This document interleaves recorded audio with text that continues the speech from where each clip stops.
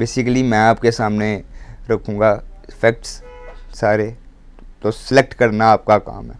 और इसके अलावा ये भी मैं बताऊँगा कि अपनी बिल्ली को ऑलराउंडर कैसे बनाना चाहिए। जैसे कि आप देखते हैं कि स्ट्रे कैट जो होती है, उसका immune system is way stronger than Persian cat जो हम घर में रखते हैं। वो इस वजह से असलकुम दोस्तों। तो मैं हूँ आपका दोस्त शाहजेब हबीब, और आप देख रहे हैं मेरा यूट्यूब चैनल टाइगर पेट्स उम्मीद है आप सब खैर खैरियत से होगी तो आज की टॉपिक आज की जो वीडियो का हमारा मेन टॉपिक है, वो है कैट हेल्थ इश्यूज़ तो वैसे तो बहुत ज़्यादा कैट हेल्थ इश्यूज़ है, लेकिन हम मेन टॉपिक को कवर करेंगे, जो कि बेसिकली फ़ूड है, जहाँ से स्टार्ट होते हैं मसले। अगर फ़ूड आपका सही नहीं होगा कैट आपकी ओबियसली अनहेल्दी रहेगी। तो मेन जो आपको फ़ूड में देखना चाहिए, वो चीज़ें ये है प्रोटीन और फैट आप जो कैट है ना, वो है गोश्तखोर गोश्तखोर जानवर। अल्लाह ने इसे गोश्तखोर बनाया है। ये हमारी दालों वगैरह के लिए बिल्कुल नहीं बनी। तो जो कैट के कैट की डाइट के अंदर जो मेन दो चीज़ें होनी चाहिए, वो है प्रोटीन और फैट। ये आपको ये देखना है, फ़ूड अगर ले रहे हैं तो उसमें प्रोटीन लेवल क्या है और फैट लेवल क्या है। जिसमें ज़्यादा होगा, वो ऑब्वियसली अच्छा फ़ूड होगा। तो अगर आपकी कैट एक फ़ूड पे लगी हुई है, और जैसे कि शॉर्ट आजकल चल रहे हैं, हर फ़ूड शॉर्ट हो रहा है तो आपने देखना उसका अल्टरनेट अल्टरनेट आपने इस तरह देखना है कि उसका फ्लेवर जैसे आपका कैट पहले अगर चिकन खाता है तो आपको चिकन फ्लेवर में ही दूसरा फ़ूड ढूंढना चाहिए। उसके अलावा प्रोटीन लेवल और फैट लेवल लाजमी चेक करना चाहिए। और जो तीसरी मेन बात है इनकी, वो ये है कि कैट जो है कार्बोहाइड्रेट्स के लिए बिल्कुल भी नहीं बनी।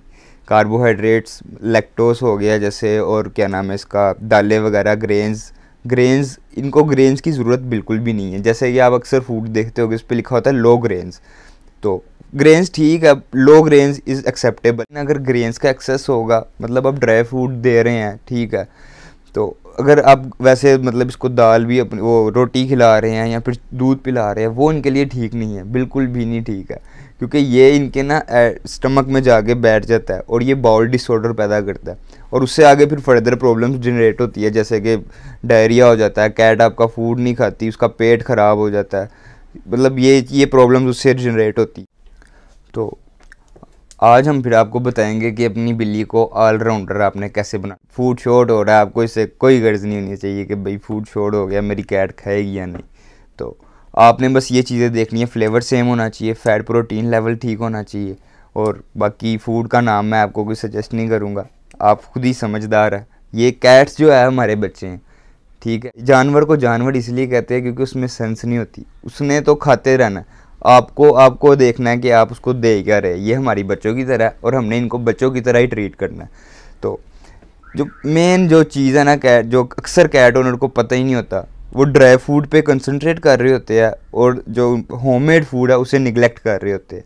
तो हमने निगलेक्ट नहीं करना होममेड फ़ूड को। तरह से खाना देना है, उसको क्या ज़रूरत है? उसकी ज़रूरतों का आपको पता ना चाहिए। वो तो जानवर है, उसको आप जो दोगे, उसने खा लेना लेकिन ख्याल आपको रखना है। ये जो ड्राई फ़ूड है ना, ये इनका बेसिकली है फास्ट फ़ूड जैसे हम, हमारे बच्चे फास्ट फ़ूड खाते हैं ना, लेकिन हम उनको ज़्यादा नहीं देते कि यार तबीयत ना ख़राब हो जाए। वैसे ये इनका फास्ट फ़ूड है। दे आप एक दो, एक टाइम दे या दो टाइम दे, लेकिन एक टाइम होममेड फ़ूड लाजमी करें अगर आप अपनी बिल्ली को ऑलराउंडर बनाना चाहते हैं। उसका इम्यून सिस्टम स्ट्रॉन्ग हो जाएगा एक दफ़ा, सब कुछ सेट हो जाएगा, उसके सारे मसले हल हो जाएँगे। तो इसकी जो रेसिपी है, ये इंशाल्लाह नेक्स्ट वीडियो में आपको एक प्रॉपर वीडियो में बताऊँगा कि चिकन ज़्यादा कैट्स अक्सर हमारे पास आते हैं क्लाइंट्स वगैरह तो कहते हैं खाती नहीं है कैट्स हमारी ना चिकन नहीं खाती। तो उसकी एक रेसिपी होती है जो प्रॉपर लोगों को पता नहीं है। लोग मिर्च मसाला अंदर डाल देते हैं और हालाँकि मिर्च, मसाला, नमक, ये सब इनके लिए जहर है। मैं जहर कहता हूँ इनको, क्योंकि ये एट द एंड इनके लिए ख़राबी है। ये उनको नहीं पता, उनकी केयर हमने करनी है, वो हमारे बच्चे हैं। बच्चों की केयर हमें खुद करनी पड़ती है तो इनकी केयर हमें खुद करनी पड़ेगी, आपको सेंस या, देखिए पेट आपका है, बच्चा आपका है, आपको पता होना चाहिए कि किस तरह से खाना देना है। उसको क्या ज़रूरत है? उसकी ज़रूरतों का आपको पता ना चाहिए। वो तो जानवर है, उसको आप जो दोगे, उसने खा लेना लेकिन ख्याल आपको रखना है। तो इसी के साथ मैं अपनी वीडियो का अख्ताम करता हूँ। जैसा कि मैंने आपको वीडियो में बता दिया है प्रॉपर डिटेल से कि कैसे आप अपनी बिल्लियों को ऑलराउंडर बना सकते हैं। तो हेल्थ प्रॉब्लम बहुत सारी है, जैसे जिसमें फ़ूड एक थी, आज हमने एक डिस्कस की है, लेकिन इन नेक्स्ट वीडियोज़ में ज़्यादा प्रॉब्लम दूसरी प्रॉब्लम्स वगैरह डिस्कस की जाएगी। और इसके अलावा अगर आपको बाइक की वीडियोस थोड़ी सी भी पसंद आती है, अच्छी लगती है या कोई फ़ायदा होता है, पसंद नहीं भी या फिर आती नहीं भी कोई फ़ायदा होता तो फिर भी सब्सक्राइब और लाइक वगैरह करते इसी के साथ अपने भाई को दीजिए इजाज़त। अल्लाह हाफिज़।